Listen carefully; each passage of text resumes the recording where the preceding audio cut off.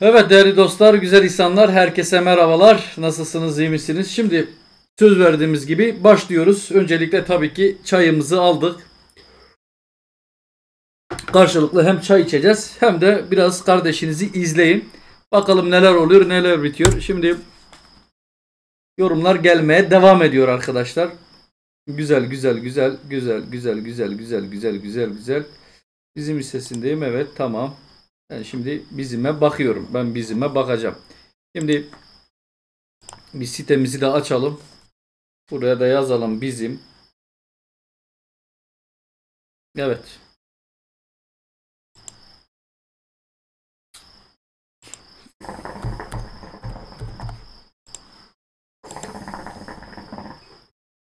Şimdi bizim hissesi ucuz mu değil mi ona bakacağız. Bilançosu nasıl gelmiş iyi mi değil mi ona bakacağız. Evet. Dönem karı ya bu nasıl bir dönem karıdır ya? Allah aşkına ya.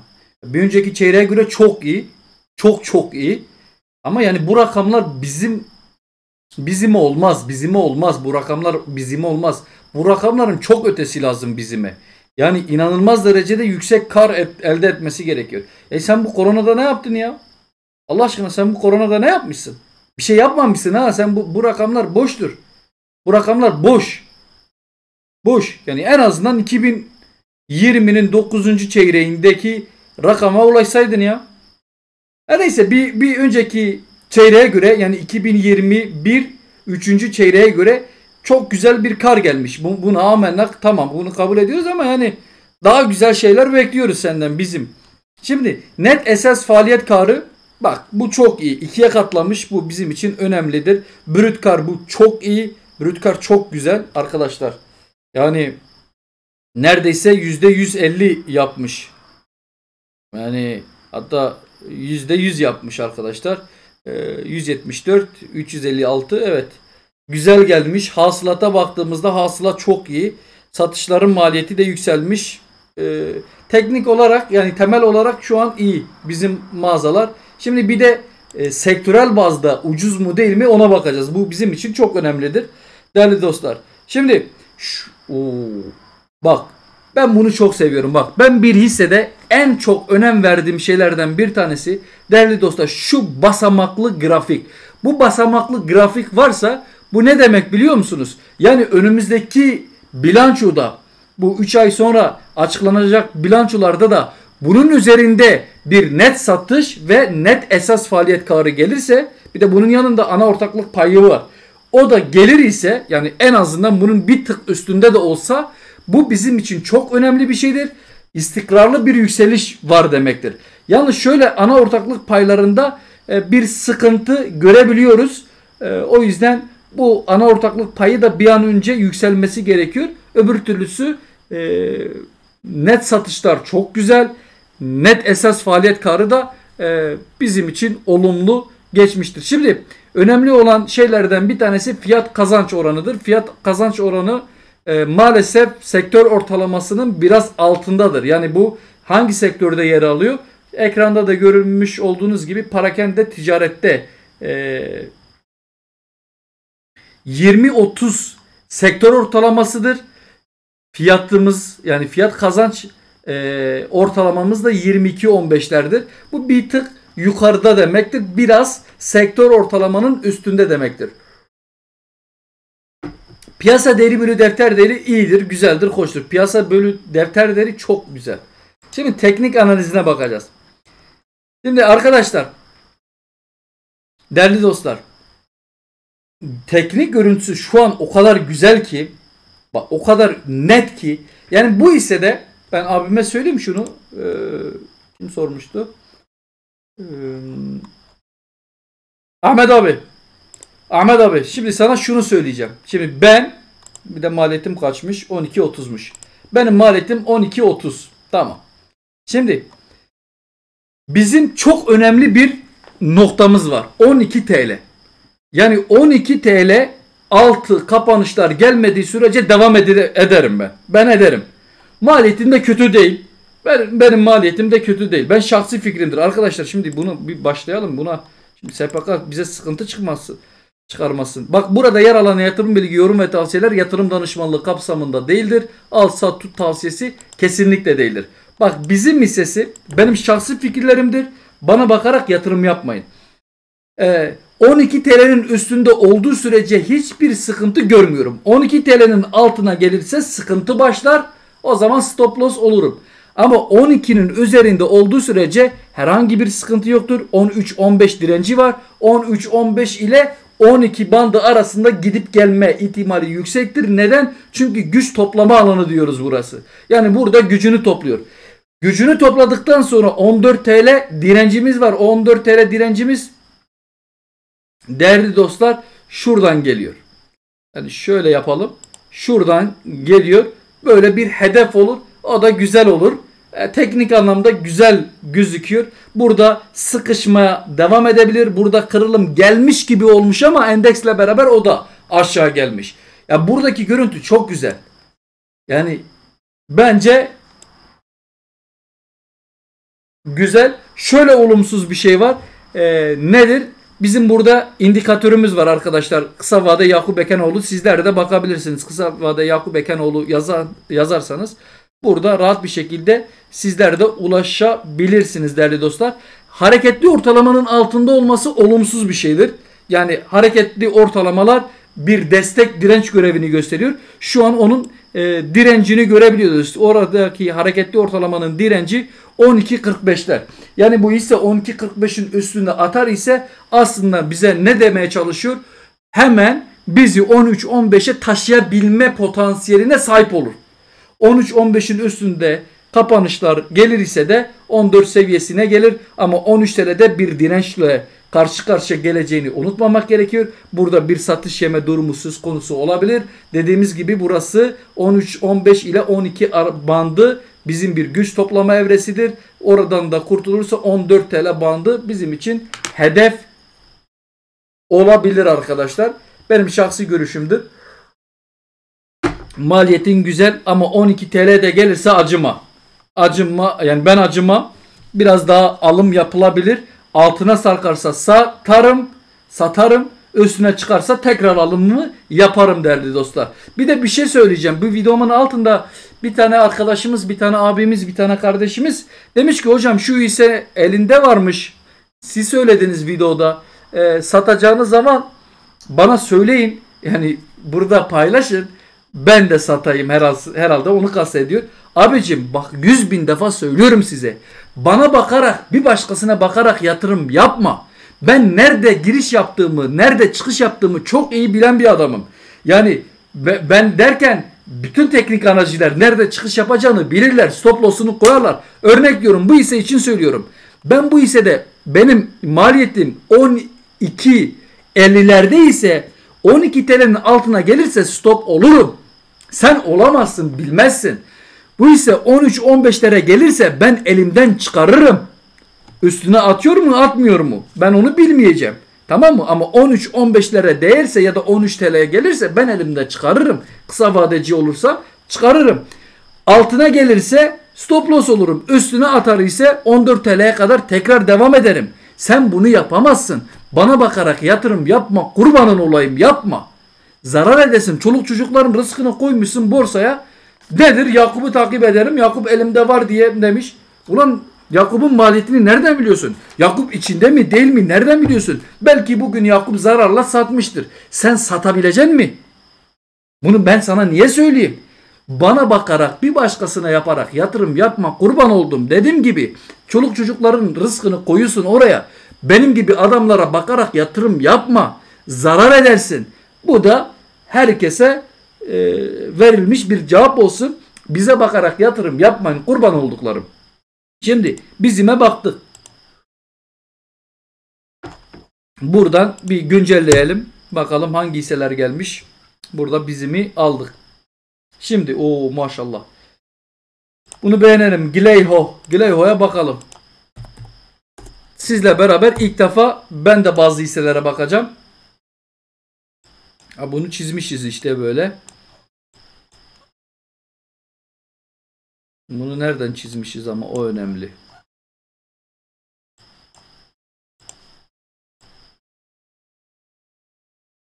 Şöyle bir şey yapabiliriz. Şimdi Gileo şurada en düşüşten en yukarıya doğru bir çekelim. Evet. Gileo sıkıntılı bir yerde. Yani acil bir şekilde 2.36'nın üstüne çıkması gerekiyor. Ee, bakın hem Fibonacci seviyemizin e, 2.36'larda olduğunu görüyoruz. Hem de benim vermiş olduğum hareketli ortalama 2.36'ları ve 2.35'leri gösteriyor. Yani bu ne demeye çalışıyor arkadaşlar? Bir an önce 2.36'nın üstüne çıkması gerekiyor. Yani aslında teknik analizci bir adam 2.36 ya da 2.35'in altında stop olurdu. Yani şu an stop olunurdu. Tamam mı? Teknik anlamda. 2.36'nın üstüne çıkar ise tekrar alım yapılabilirdi. Şimdi bu bir. İkincisi temel analizde bakalım. Şimdi sektörel bazda Gleiho ucuz mu pahalı mı ona bir bakalım.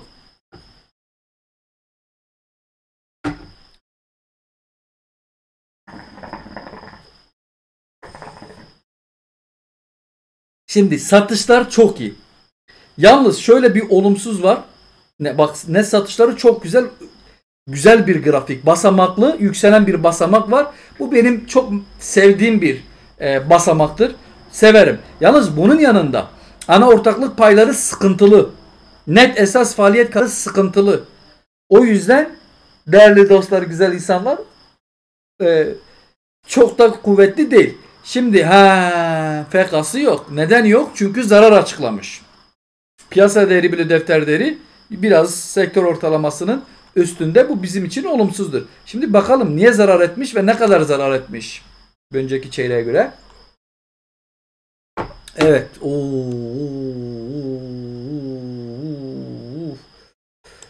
%100 zarar etmiş arkadaşlar. Bir önceki çeyrek 274 binken şu an 625 bin Abi çok deli gibi bir zarar açıklamış. Bu zarar nereden kaynaklanır bakacağız. Şimdi hasılat düşmüş. 2020 6. çeyreğe göre düşmüş. Bir önceki çeyreğe göre biraz yükselmiş ama e, yine sıkıntılar var ise de. Satışların maliyeti burada e, bir önceki çeyreğe göre artmış ama e, 2026. çeyreğe göre de yine düşmüş. Yani sıkıntılı. Sıkıntılı. Sıkıntılı. Brüt kara baktığımızda 55'ten 130'a gitmiş. Bu güzel. Evet bak bu teknik anlamda, temel anlamda bizi mutlu edebilir. E, net esas faaliyet karı zarar. Yani arkadaşlar şirket iyi gitmiyor. Yani bir de bu şirketin Katarlara satılacağı haberleri vardı 5 ay önce. E, biliyor musunuz bilmiyorum ama e, onunla ilgili birkaç çalışma vardı Gleiho Global Yatırım Holding'in. Öyle şeyler duydum. Yanlış doğru bilmiyorum. Şimdi teknik analiz kısmına bakacak olursak biraz önce söyledim arkadaşlar. Yani e, buranın altında e, stop loss onun e, koymak gerekiyordu. Şöyle. Burası bizim için ölüm kalım meselesiydi. Bak e, yani gerçekten e, 2.36'lar bizim için çok önemli. 2.35'ler 2.36'lar bizim için çok önemli bir seviyedi. Üstünde kapatması gerekiyordu. Altında destek diyebileceğimiz bir yer. E, burada hemen şey yapacağım. Hemen bir yardımcı bulacağım. Şunu bir sileyim. id sequential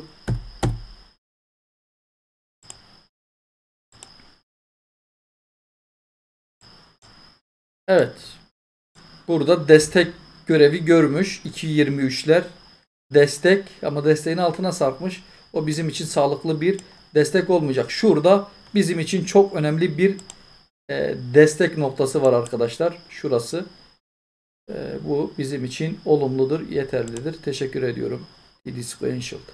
Şimdi değerli dostlar. Abicim senin hissen biraz sıkıntılı bir hisse. Şimdi ben sana desem ki abicim bak ben bir kafe işletiyorum. Her bu örneği veriyorum. Ben bir kafe işletiyorum. Kafemiz çok güzeldir. Bir, güzel bir kafedir. Renkli, hoştur. Tamam abicim gelelim. Ne kadar diyorsun? İşte bu kadar diyorum. İşte 2 TL diyorum. Ee, 2 TL ver bana ortak ol diyorum. Peki abicim sen kar ediyor musun diyorsun. Ben de diyorum ki abi vallahi ben kar etmiyorum. E ulan ben aptal bir adam mıyım ben sana ortak olacağım, yatırım yapacağım. E sen zarar ediyorsun. Ben sana ortak olursam sen de zarar edeceksin. E ne anladın bu işten? O yüzden hisselere ben bu mantıkla yaklaşıyorum. Yani ben zarar eden şirkete girmem. Ben zarar eden bir şirkete girmem. Ben de ticari kafa var. Ben hayatım boyunca da çok da ben kafe sektöründe de çok e, çalışmışım, işletmişim. E, hatta benim gazetede röportajım bile var değerli dostlar, güzel insanlar. Instagram'a girersen oradan röportajımı da okursun. Önce Vatan Gazetesi'nde röportajım bile var değerli dostlar. Şimdi şu kanal bandı arasında gidip gelir büyük ihtimalle güç toplama evresi olur. 2.36'nın üstüne çıkarsa şuradaki dirençle karşı karşıya gelebilme ihtimali var tabii ki de. Ama düşen kanalın içerisindedir ve sana abime şöyle bir şey söyleyeyim. Güç toplama evresindedir. Güç toplama şeyi ne zaman biterse o zaman çok güzel şeyler konuşabiliriz. Yani şunların hepsini bir sileyim. Bak şuradaki grafik bize aslında her şeyi anlatıyor o kadar güzel ki, o kadar tatlı bir şey ki bakın o kadar net ki, veriler o kadar net ki bak destek noktamız ne diyeceğiz? Şurası destek noktamız diyeceğiz. E, hatta 2 TL'lerdi. E, biz buradaki e, en son barı destek niyetinde alacağız ama 2 TL'ydi. Şimdi hani e, net bir yükseliş var mı yok mu onu onu tartışıyoruz şu an. Abicim şu düşen direncimiz kırılmadığı sürece hayalidir yükseliş. Yani şu an için herhangi bir e, yükseliş söz konusu olmaz. Şimdi söyleyeceğim. Yalnız şu düşen direnç kırılımı gelir ise o zaman çok farklı şeyler konuşuruz. Bu sefer ne diyeceğiz arkadaşlar? Valla ise gidiyor. Yukarı doğru gidiyor.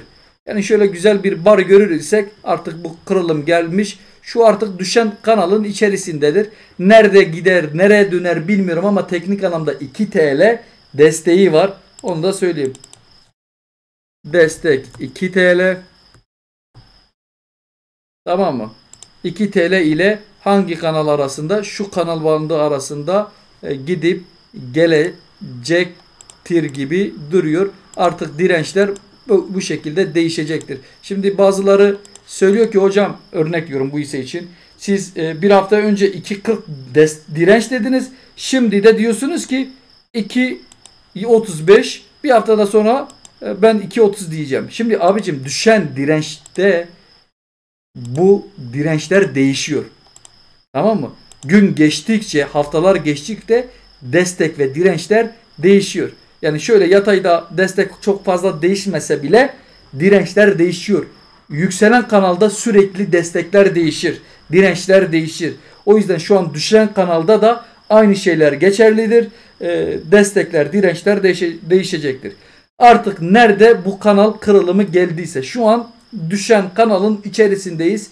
2 TL desteğimiz var e, ve direncimiz sürekli değişiyor. Artık e, sıkıntılı yani zarar eden şirkete ben bir şey demiyorum abicim. Kesinlikle yatırım tavsiyesi değildir. Ee, önümüzdeki haftalarda tekrar bakarız.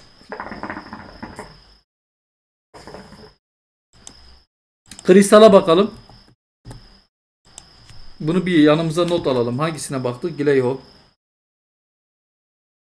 Kristal. Evet, evet, evet, evet, evet. Bakın şunu daha önce çizmişiz. Bakın.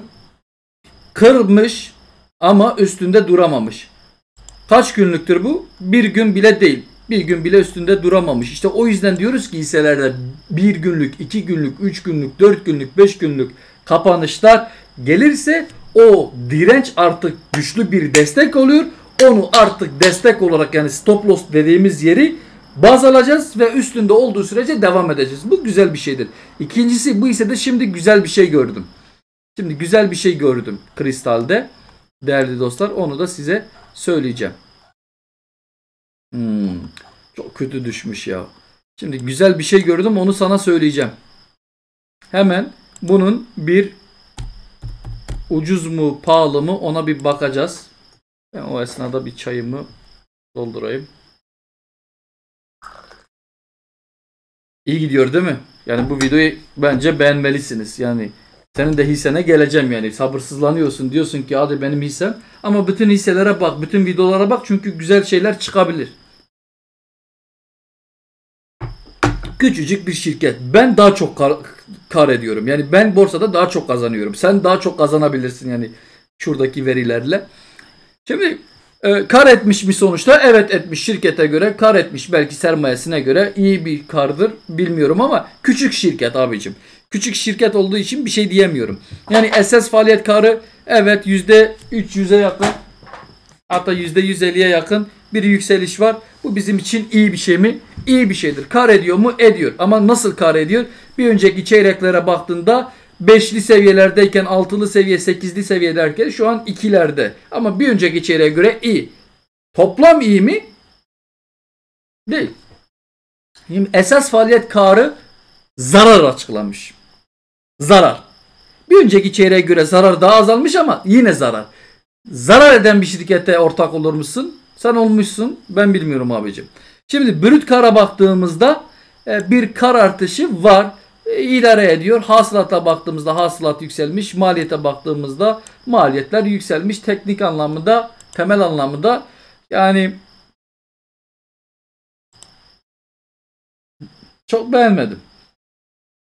Şimdi satışları görüyorsunuz. Biraz önce satışlardaki yani güzel satıştaki grafik güzel. Ama e, net esas faaliyet karı sıkıntılı. Ana ortaklık payları sıkıntılı. Çok da iyi değil açıkçası. Yani biraz daha yükselebilirdi ama net esas faaliyet karı yerlerde. Yani sıkıntılı. Şimdi evet onu anladık. Şimdi güzel dediğim şeye gelelim. 50 günlük hareketli ortalamanın hemen üstünde kapatması bu bizim için çok iyi bir şeydir. Bu bizim için nedir? Bir yükseliş senaryosu olabilir tarzında bir şeyler söylemek gerekebilir yani. Şimdi şunu bir kapatalım. Net bir şekilde verilerimizi görelim. He, bu bir düşen direncimizdir değil mi? Bakın bu bir düşen direncimizdir. Düşen direnç. Ne zaman kırılım gelir ise orada insanlar, traderlar ne yapıyorlar?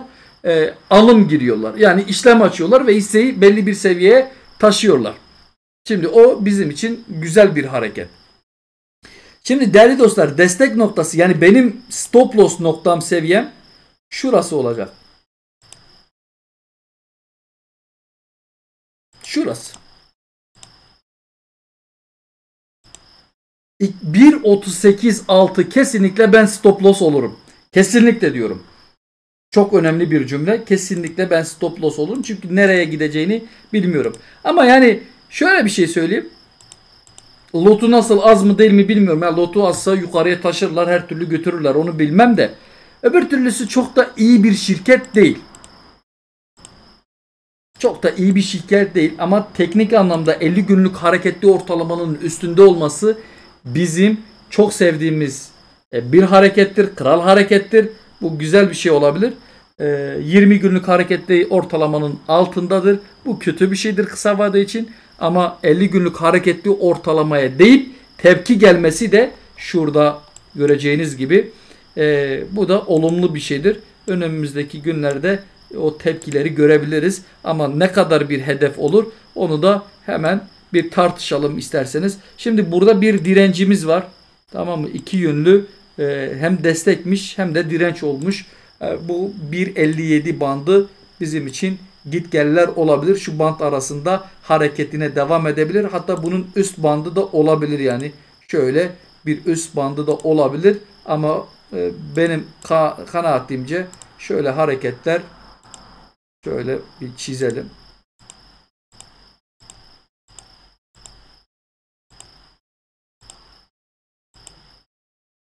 şöyle burada şimdi diyeceksiniz ki hocam ya burada çok güzel bir görüntü var. Yani gider mi acaba? Bu görüntü nedir arkadaşlar? Ters omuz baş omuz formasyonu. Ee, 1.38'e deyip burada bir iki günlük kapanışlar yaparsa 1.57'ye giderse 1.57'de çıkar ise ve sana bir şey söyleyeyim. Tek bir nokta söyleyeceğim. Çok önemli bir nokta. 1.57'nin üstünde kapanış yapar ise bak çok dikkatli izle beni.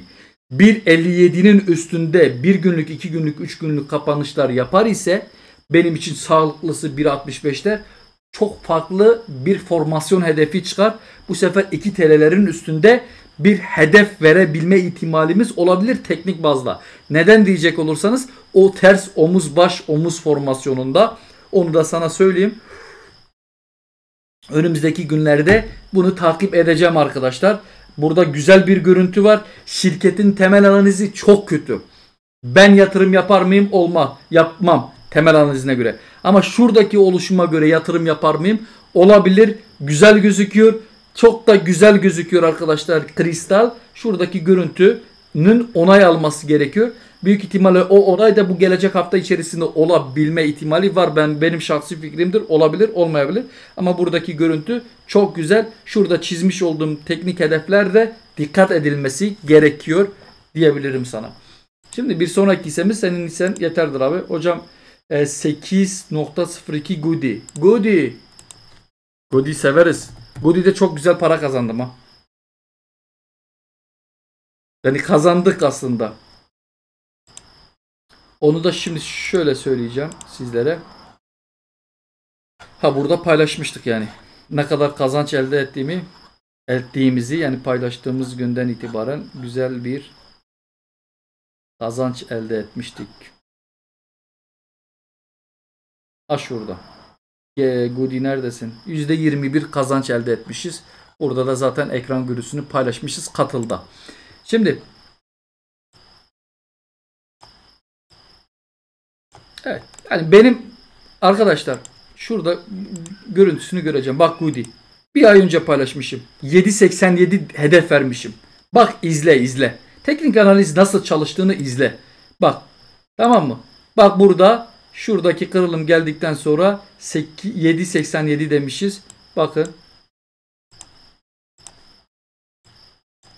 8 TL yani tamam mı? 7.87 üzeri kapatmış. yani teknik anlamda çok başarılıyız yani ben sana söyleyeyim. Yani şuradaki kırılım geldikten sonra benim için bitmiştir. Ya şimdi güncel grafiğine bakacağız. Yani geçen gün bakmıştım. Yani iki, bir, bir gün önce baktım sanırım. Ve buradaki işlem söyle. Dedim ki arkadaşlar tek bir kuralımız var. Tek bir kural. Başka hiçbir şey yok. 8 TL'nin altında bu saatte ben alım yapmam. 8'in altındaysa ya 6.50'lerde alım yaparım. Şahsi adıma söylüyorum. Ya da 8 TL'nin üstünde bak kural çok basit. Teknik analiz dünyanın en güzel şeyidir ya.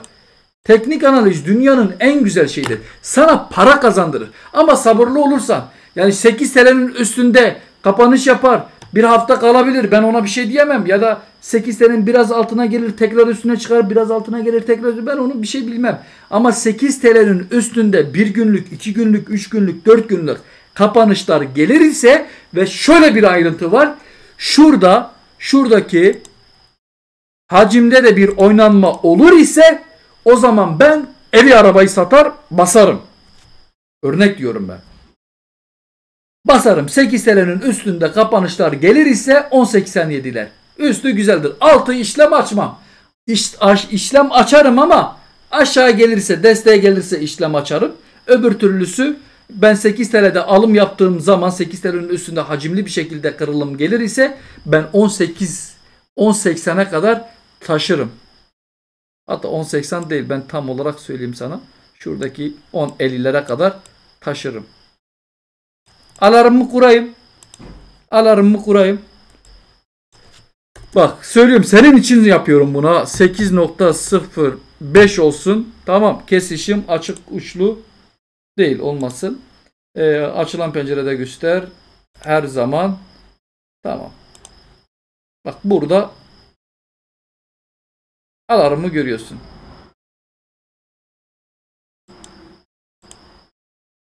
Bak Gudi kesişme 8.05.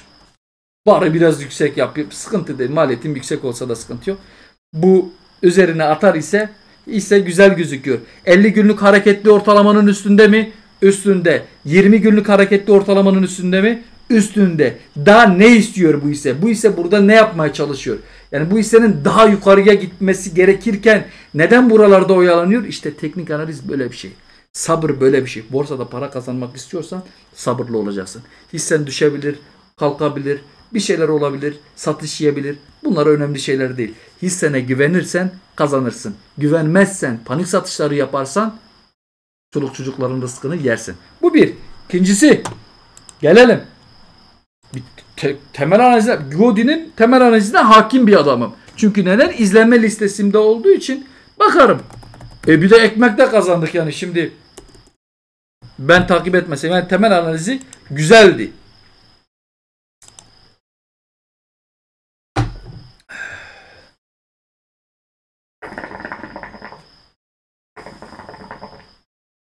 Şimdi buradaki yükselişi görüyor musunuz? Kirko gibi yukarıda. Bu güzel. Bir önceki çeyrek e, aslında her şeyi saçma sapan bir yere götürdü. Bir önceki çeyrek ciddi anlamda sıkıntı yaptı ve o yüzden hisse düştü. Yani bu da yukarılarda bir yerlerde olsaydı çok iyiydi. Ama şimdi net satışlardaki ciddi artış, ana ortaklık paylardaki net dönem karının ciddi güzel bir artışı ve e, net esas faaliyet karının yükselmesi önümüzdeki günlerde ya da bu 3 aylık süre zarfı içerisindeki bilançoda bu şekilde kararlı bir şekilde gelirse bu Goody'yi kimse tutamaz. Ben 10-50 hedef vermişim ya öngörümdür. 10-50'nin üstünde de kapanışlar gelir ise ben bir şey diyemem. Ben demem. Ben, benim şahsi görüşümdür. Benim elimde yok. 8 TL'nin üstüne atar ise ben o zaman alırım. Ben o zaman alırım. Yani katılda paylaşırım yani.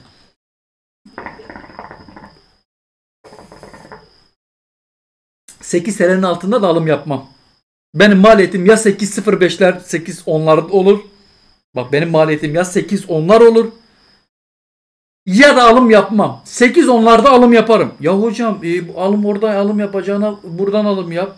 Ben garantici adamım abicim. Ben teknikçi adamım. Ben buralarda alım yapmam. Aşağı düşerse 6.50'lerde alım yaparım. Çünkü neden? Temel analizi iyi. Kar ediyor mu? Bakalım ediyor mu etmiyor mu? E ediyor ki böyle konuşuyoruz. Ediyor mu? Bakın 70'ten 180'e gitmiş. Güzel. Bu bir. Hasılatı birden 2'ye gitmiş. 1 milyon TL'den 2 milyon TL'ye gitmiş satışların maliyeti yükselmiş mi? Yükselmiş. Bu olumsuz mu? Değil. Yani her şey çaya bile zam gelmiş. Nargile mi? Tütünle bile zam, zam gelmiş. Brüt karı çok iyi mi? Muazzam. %100 kar etmiş. İşte bunlar güzel şirketler abicim. Net esas faaliyet karı %100 kar etmiş. Yani e, temel analiz anlamında güzel bir hissedir, olumlu bir hissedir. Teknik analiz anlamında da yine güzeldir. Yani orta ve uzun vadeciysen buradaki 8 TL, 7 TL, 5 TL ya bunlar maliyet değildir. Bunlar maliyet olduğunu düşünmüyorum. Şahsi görüşümdür. Yatırım tavsiyesi de Şimdi hocam sen de bu hisseyi övdün övdün yarın alım yapacaksın. Bak alım yaparsan vallahi bile bir daha teknik analiz yapmam ha. Bana bakarak yok. Dedik ki çayınızı kahvenizi yapın sohbet edeceğiz dedik. Bırakın da kendi düşüncelerimi söyleyeyim. O yüzden işte böyle karşınıza çıktım. Goody bu şekilde. Yazalım Goody'yi de. Pardon. Ha, güzel hisseydi ya. Gameje o. Ama 8 TL'nin üstünde olursa güzeldi. Evet. Şimdi hocam maliyet 340.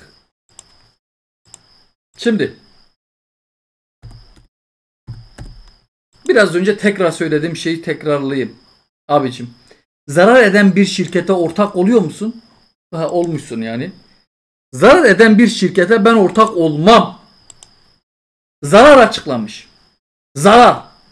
Bak bir önceki çeyrekte görüyorsunuz. Bak 12'ymiş, 20 olmuş, o 21 olmuş, 28 olmuş. Orada herhangi bir sıkıntı yok. Alım yapılırdı, paylaşılırdı 10 numara 5 yıldız. Burada zarar açıklamışsın. Bu bir. İkincisi brüt satışlar toplam kaynaklar hasılat 158'den 400 gelmiş. Yani 400 bine kadar çıkmışsın. O hasılatın güzel. Ama satışlardaki maliyetine baktığında anladın mı? Bir şey kalmıyor sana. Bir şey kalmıyor. Bir şeyler kalması gerekiyor. Brüt kara baktığında 50'den 65 olmuş. Güzel. İyi. İdare ediyor. Net esas faaliyet karına baktığında sıkıntılı. Hmm. Şimdi FK'ya bakacağız. FK çıkmayacak. Niye? Çıkacak.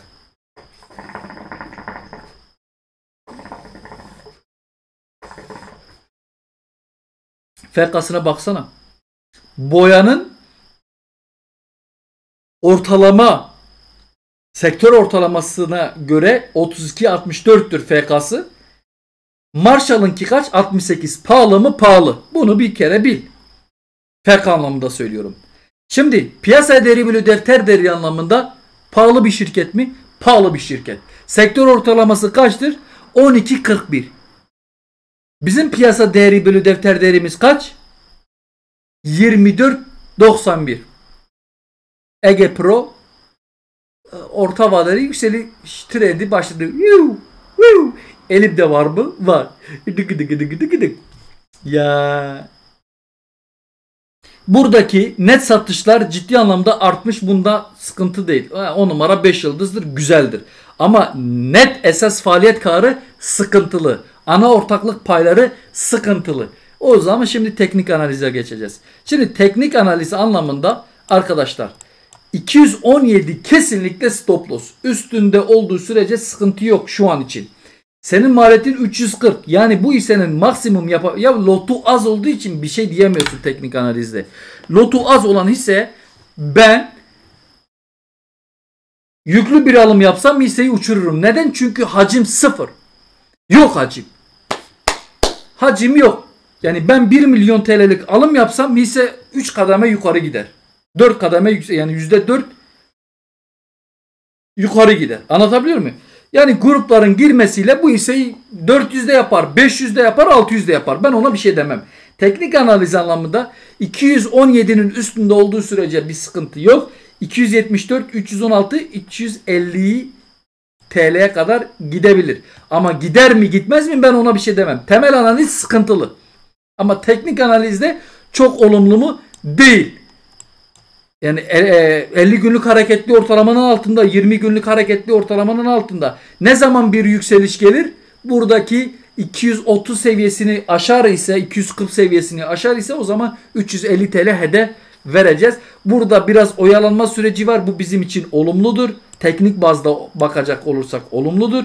Burada kırılım gelir ise kırılıma göre hareket edilir. Değerli dostlar şöyle bir kırılım artık yavaş yavaş nerede olduysa bu kırılım gelirse artık hisseyi buradaki seviyelerde görebiliriz. Değerli dostlar bu şekilde de söyleyeyim.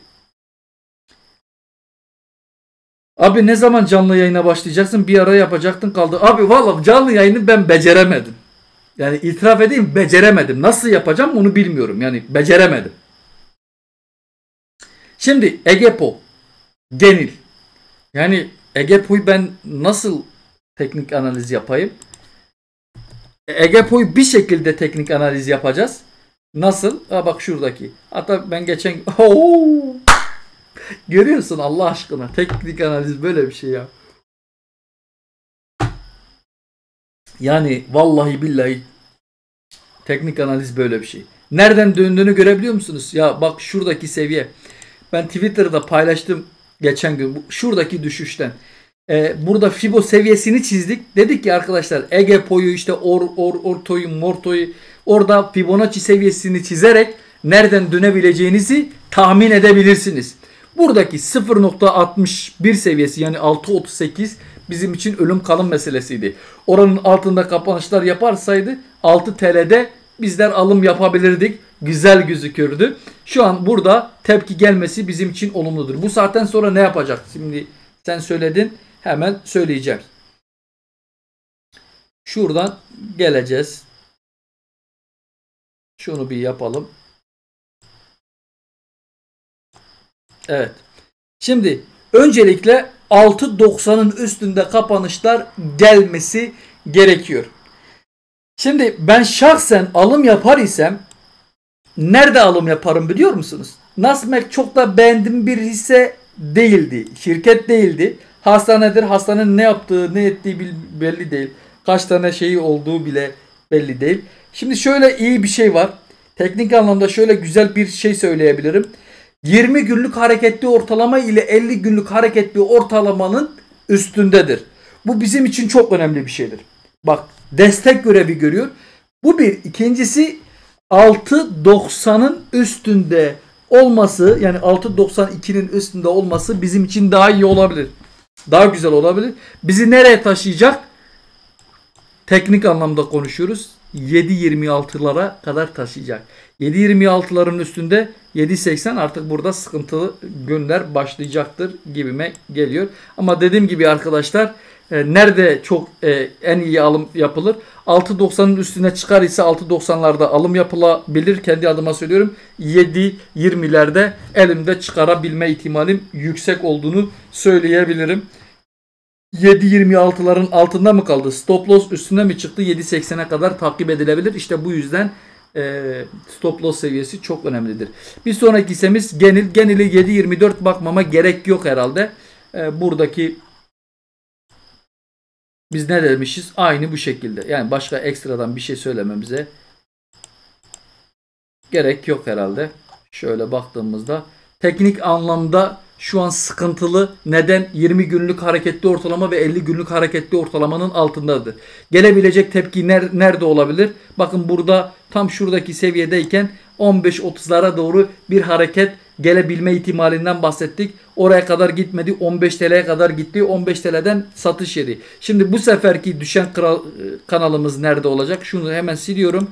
Bakın burada bir satış gelebilirdi.